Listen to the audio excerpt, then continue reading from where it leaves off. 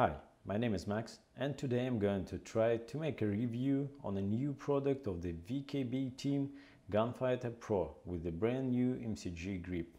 I am a pilot, I was interested in aviation since I was kid and I flew flight simulators well before I've started to fly real planes. So since that time I'm always looking for a joystick which could bring me the most realistic feeling of the flight Unless you are able to buy a force feedback flight control system for more than 1600 bucks, the VKB Gunfighter could be the one you need for the very best performance. I've just recently got my Gunfighter. First of all, I was surprised how actually small the box is. Once I've opened it, I've been surprised again, and now by the build quality. You can easily see that the good engineering is the main idea of this product. Housing, frames and extender are made of 6061 aluminum alloy, which is commonly used for the construction of aircraft structures. Mechanics are made of stainless steel using ball bearings in the pivot points. MCG grip itself made of industrial grade ABS plastic. And I do like how it feels. Brakes lever is the metal either. MCG grip has tons of buttons.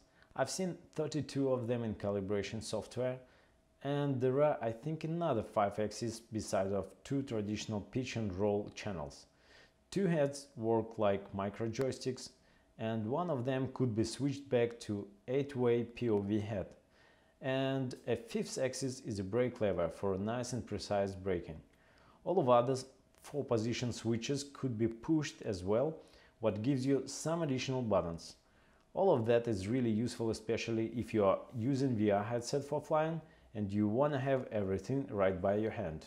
You will definitely find some flight sim fans video on YouTube who take seriously the way how every button pushes.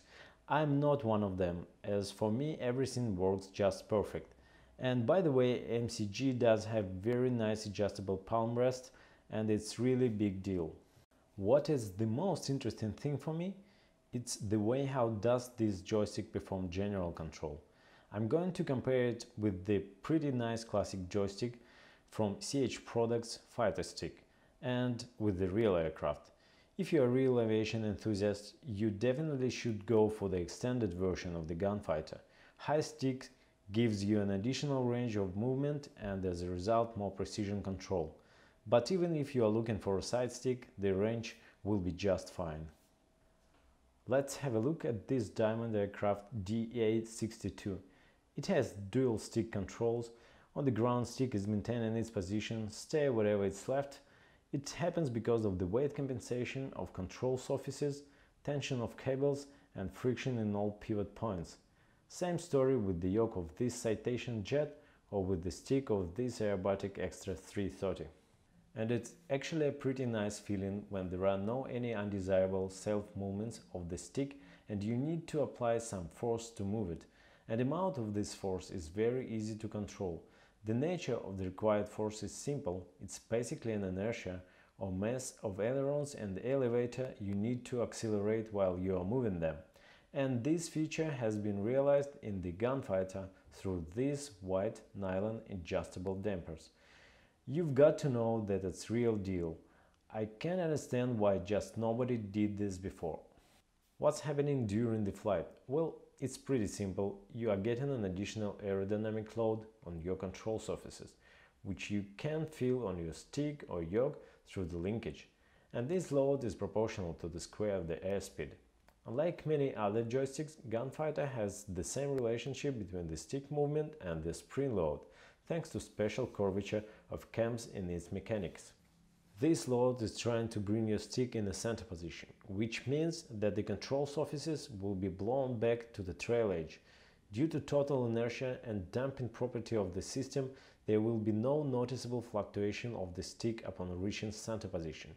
Unlike that, classic joystick needs time to stop in the center. In a real life, aerodynamic load really depends on aircraft type you are flying. It could be very light if we are talking about an aerobatic aircraft and ridiculously heavy if it's a large transport airplane. And this load not necessarily directly proportional to the control surface's size, it is mainly depends on the engineering design. For example, tweaking aerodynamic compensators You can tune your aerobatic plane to get not only zero load on your ailerons, but even overcompensate them. It will bring you to a situation where the stick is sucked completely, for example, to the right and you need to apply forces to get it back in the center. There is a bunch of springs with different tension comes in the box of Gunfighter to let you adjust the load of your joystick for your very best experience. There is also another set of cams. You may use it if you are not worrying about realism of flight control and you just want to have a physical bump right in the center position. So overall, the VKB Gunfighter MCG Pro is really stunning joystick. Build quality, ergonomics, functionality and variety of adjustments make it the one you really would like to have. Hope this video will be helpful to whom is looking for a new joystick and thank you very much for watching. See ya!